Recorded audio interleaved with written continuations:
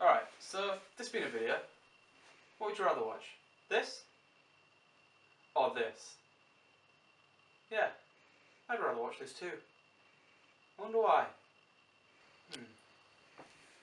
It's probably for the same reason that whenever you're creating a poster in class and your teacher said, make that more eye-catching, you'd go and grab the crayons or the felt tips. Why? Because colour makes everything more interesting. Each of these fast food chains tend to use the colour red. That's because red links to hunger.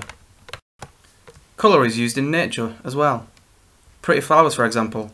Pretty flowers attract bees, bees then pollinate.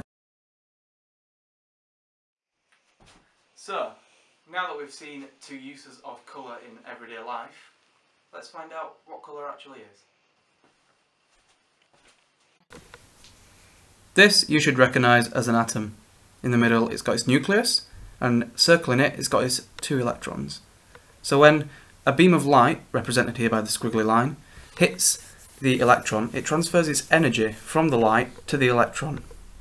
The electron then jumps, because of its greater energy, to the outer energy level. Then, when it loses its energy through things such as vibrations, it then falls back to the lower energy level. This then releases energy in the form of colour.